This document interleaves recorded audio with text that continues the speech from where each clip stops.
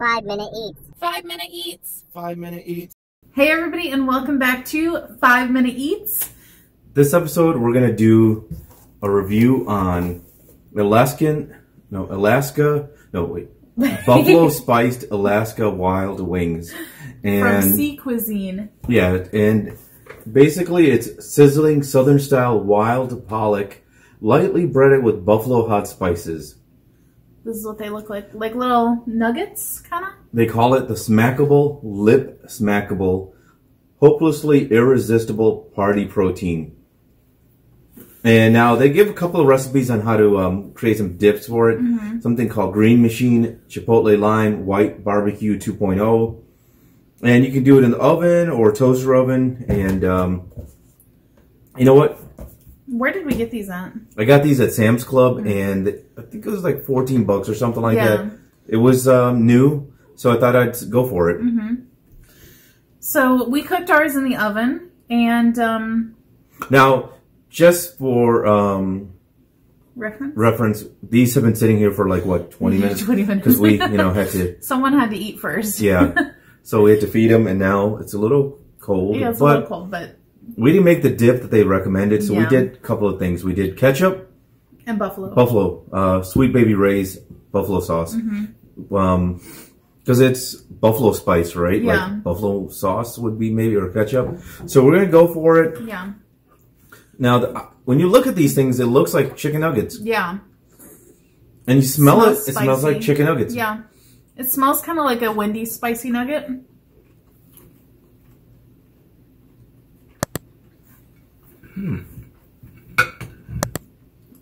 Not bad. Wow. Ooh. That has some spiciness to it. Yeah.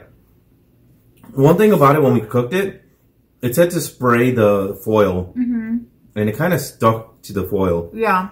So we, like, I think one thing our advice would be go heavy on the uh, the oil. Yes. Ooh. Um, because, um, yeah, this one right here, we had to pry it open. Yeah. And so you can see it fell apart. That one got tore But this actually tastes really good. Dude, Yeah. if, if you didn't tell me, I would never know this is not chicken.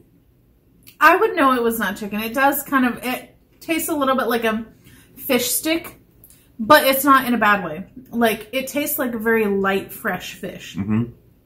I'm gonna try it with a little ketchup and see how that tastes. Now here's why I say it. You know, it tastes like chicken.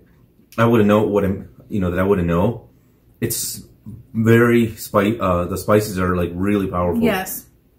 You. It really like. Uh, you can um, taste it. So that's what I taste. I would say that for me, the fish taste comes more like after you swallow. hmm Then you kind of are like, okay, that was fish. But while you're chewing, not so much. You really wouldn't know. hmm I'm gonna try it with the buffalo now to see.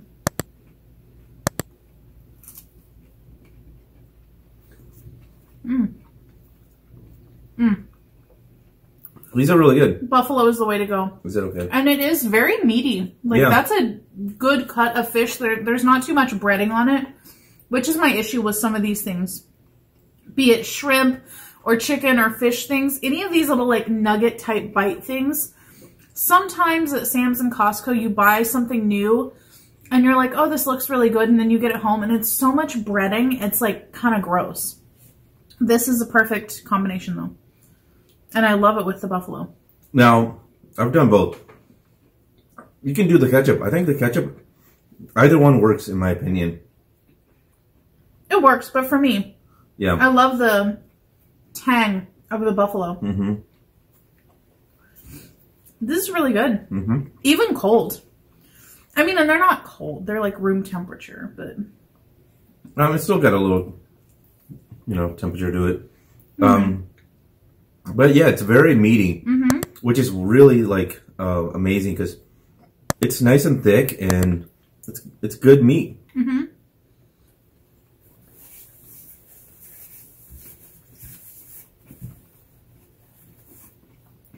I'm impressed with those. Mm-hmm. Especially considering how a few of the new things that we've tried over the past year or so at Sam's and Costco that look really good on the package have turned out not so great. Yeah, Um, I w- one thing I did want you guys to know about it is there. There's this is more like a party size, so it's like Yeah. the portion, you know, could be a little bit more, um, but because like pretty much what we have on our plate is like The majority of it. yeah, there's a little bit left of it, but um, this is great if you have a party Mm-hmm. and you want to serve something. This would be like great finger food, in my opinion, Yeah.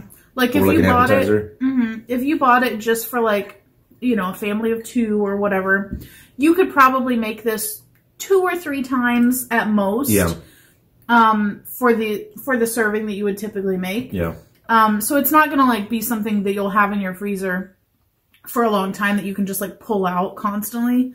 Um, it's gonna go pretty quickly, but it's good. I would definitely have them again, yeah, and I'd repurchase. yeah. I would too. This is good, hmm and so it's Alaskan Wild Wings, buffalo spiced, Mhm. made by a company called Sea Cuisine. Mhm. We recommend it, and uh, yeah, that's it, right? Yep. Make sure you go and don't go yet. Make sure that you subscribe before you go. Give us a like, click the notification bell, and share this video with all of your friends and family who love Sam's and Costco and food in general. That's it. We'll catch you guys next time. Bye.